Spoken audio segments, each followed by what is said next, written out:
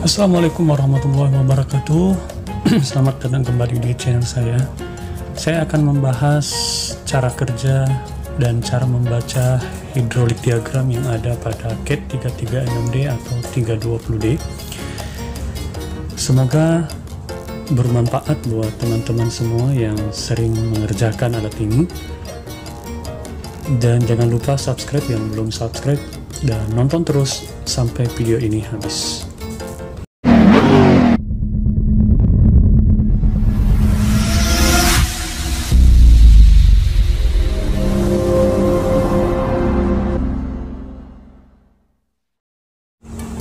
Oke, langsung kita masuk penjelasan hidrolik diagram untuk cara kerja hidrolik pump CAT 320 atau 336D karena sistem hidroliknya hampir sama saja ya untuk seri D ini.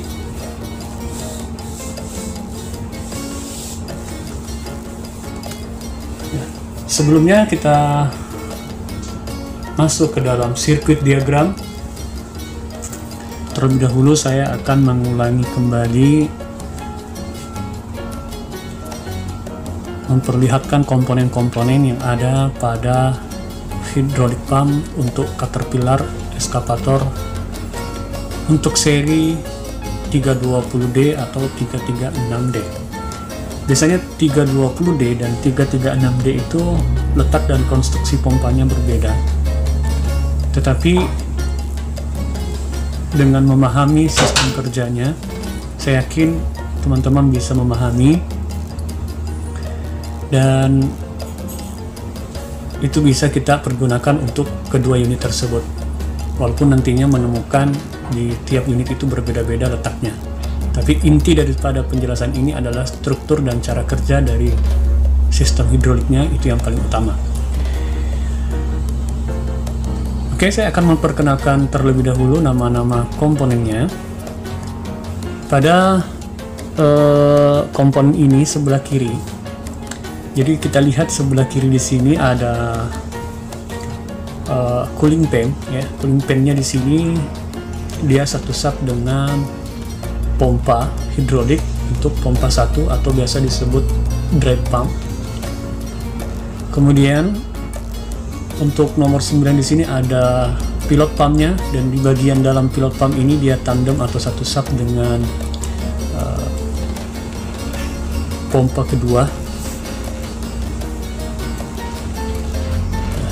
Karena di Caterpillar ini ada dua pompa seperti yang saya sudah jelaskan sebelumnya ya. Dan untuk lebih jelasnya sebenarnya untuk komponen-komponennya ada uh, satu video yang membahas tentang ini. Bisa dilihat video saya yang lainnya Kemudian nomor 4 di sini ada sebuah solenoid di mana solenoid ini disebut sebagai VRV solenoid. Nah, nanti kita lihat apa sih itu VRV solenoid dan kerjanya seperti apa. Kemudian di bagian atas di sini ada regulator valve-nya yang mengatur nanti hubungannya dengan NFC dan servo piston. Nanti uh, hubungannya di bagian atas sini. Jadi di sini di bagian atas ada dua, hose kecil di mana dua host ini datangnya dari NFC atau dari kontrol valve ketika dalam kondisi netral ya. Jadi dia akan mengalirkan masuk ke sini dan di sini ada regulator valve-nya nah kemudian uh, selain itu di sini ada solenoid untuk pen motornya untuk mengatur kecepatan daripada pen speednya jadi komponen-komponen inilah yang akan saya jelaskan bagaimana skematik hidrolik yang ada di dalam komponen ini. Tentunya untuk unit 336D karena saya uh, yang saya tampilkan sekarang ini adalah unit 336D. Tapi ketika teman-teman ingin uh, mengetahui sirkuitnya untuk 320 sebenarnya hampir sama saja.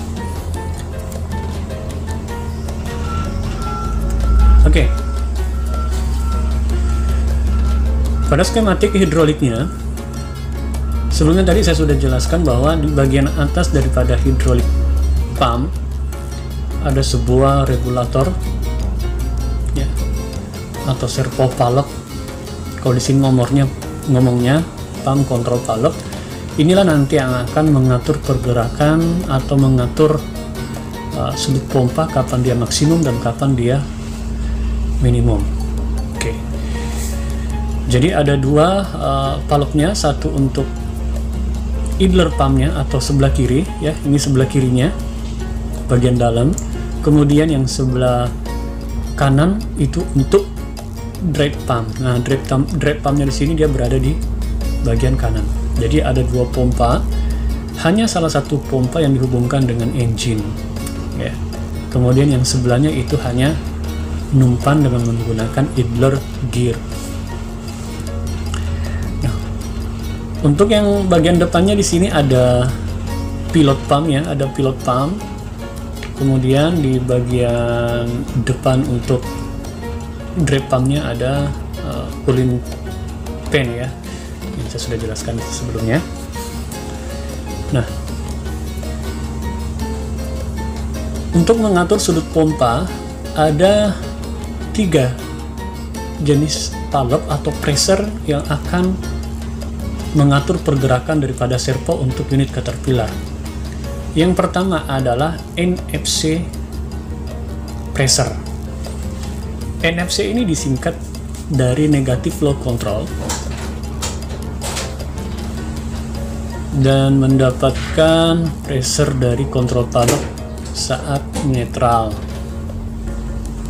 jadi ketika kontrol valve netral maka NFC mengeluarkan pressure senilai kurang lebih 5 kg per cm kuadrat dan ketika kontrol valve digerakkan maka NFC pressure itu nol Nah, nanti kita bahas untuk penjelasan di kontrol valve mengenai apa itu NFC. Kemudian yang kedua ada sensingan yang warna kuning ini.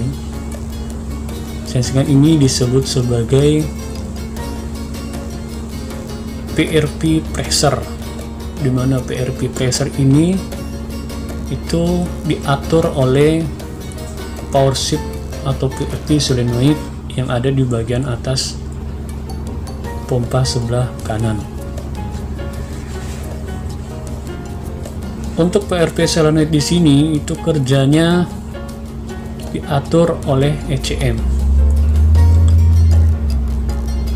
ECM akan memberikan arus ke sini ketika ECM menerima inputan dari beberapa sensor. Yang pertama adalah dial speed yang ada di dalam cabin. Kemudian yang kedua adalah engine speed sensor. Kemudian yang ketiga adalah pressure sensor untuk hidrolik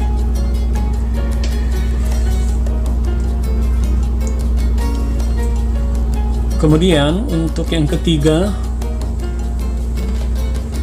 pressure yang ketiga yang berfungsi untuk mengatur sudut pompa ada cross sensing. Cross sensing ini dia memanfaatkan pressure dari pompa. Ketika semakin tinggi pressure atau yang dikeluarkan oleh pompa maka semakin tinggi cross sensing yang akan masuk menekan di sini. Jadi tiga macam pressure yang akan masuk ke sini untuk melawan kekuatan spring yang ada di servo valve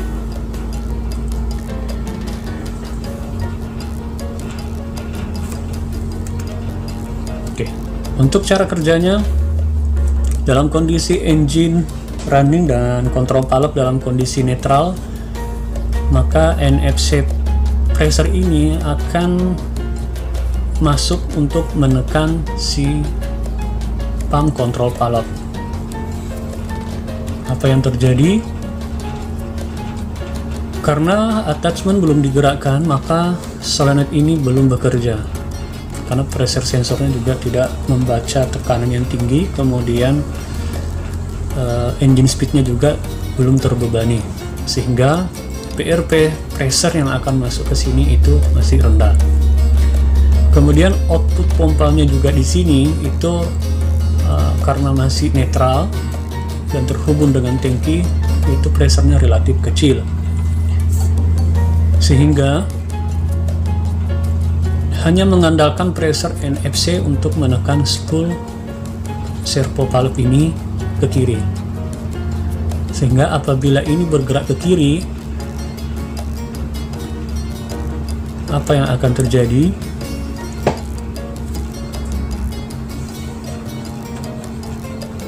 pada bagian servo piston yang berada pada big area ini itu akan nanti dihubungkan dengan tangki. Sehingga pressure yang ada di sini drop dan servo piston bergerak ke kanan. Dengan pergerakan servo piston ke kanan membuat sudut menjadi minimum saat kondisi netral saat engine running kemudian attachment digerakkan maka pressure dari NFC kontrol valve ini akan hilang. Dan ketika engine belum terbebani artinya belum terjadi relief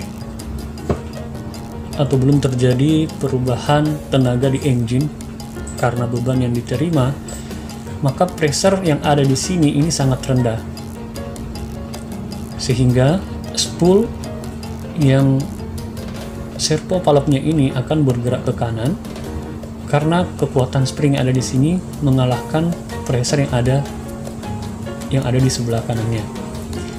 Sehingga spool yang ini akan bergerak ke tengah dan oli yang dari output pressure pompanya itu akan masuk untuk mengisi di bagian servo piston yang besar sehingga luas penampang di bagian kanan dibanding dengan yang kiri